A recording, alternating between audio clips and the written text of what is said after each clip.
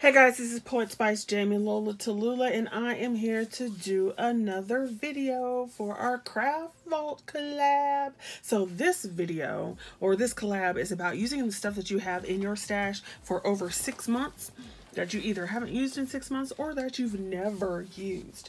So I had done a quilling flower video um, tutorial, and then I posted a second one basically to kind of compare. And so that led me to pull out my old Crafter's Companion um, quilling dies. Now, I have more than this, but I pulled these out. So I have this set here. And then it has a smaller piece.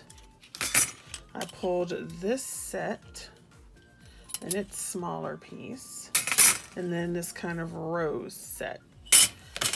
So I played with that, and then I played earlier in the day with, oh my goodness, excuse me, my Anna Griffin. So I just thought I would go ahead and show that. So you would have seen these flowers.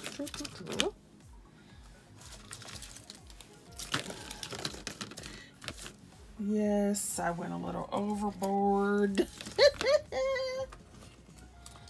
so I had done a tonic video tutorial, then I did um, an Anna Griffin one. So these were the flowers that I had created for the Anna Griffin video.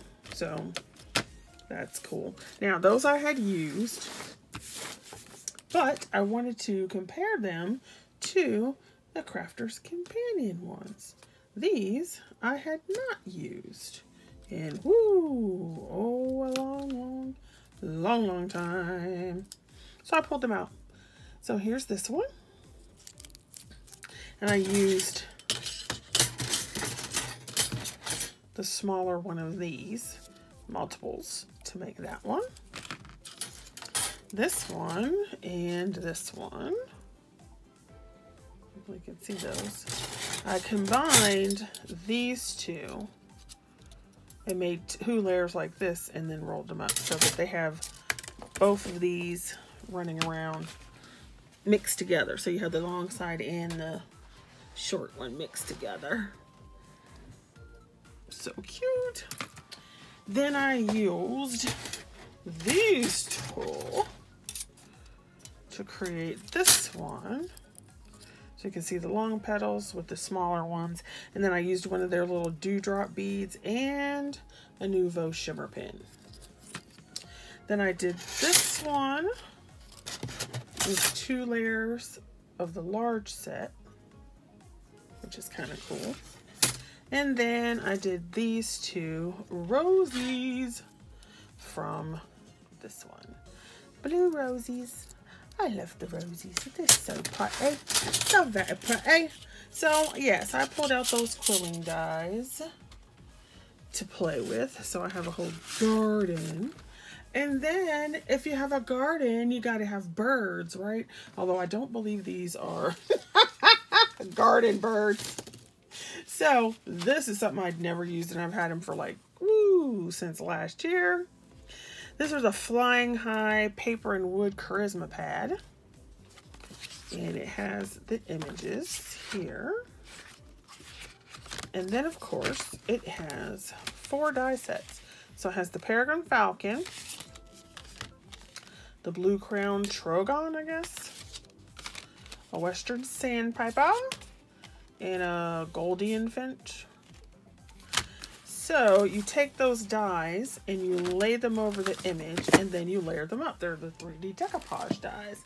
So I did that. So I didn't really make full projects. I played with my embellishment pieces, I guess you could call them. So they have two versions of the Peregrine Falcon. So you've got a lighter one and then a more vibrant one. And you see where you layer them up. Right, and you have all the extra cut detail. So can you see that? Doo -doo. So you have your Peregrine Falcon. So pretty. Then you have your Sandpiper. now I actually made a mistake because one of these layers, this one here, was actually supposed to go over here. And I was like, doo doo doo, not paying attention. but it's still cute. So you can see that. So you have the lighter and the darker version. Then you have this gorgeous bird. I don't know. So pretty. I like the colors.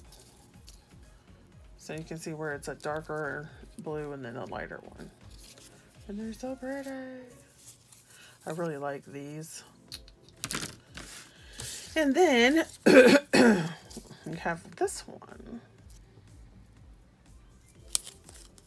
So it's really cool. And they're so, you know, they're realistic. So it's it's even cooler because they are realistic. So those are the things that I pulled out of my craft vault to play with. And so, yeah. Flowers and birds, flowers and birds. All right, thanks guys for watching and I shall see you later. Don't forget to check out the other ladies and don't forget to like, subscribe, share, and play along. Use the hashtag below.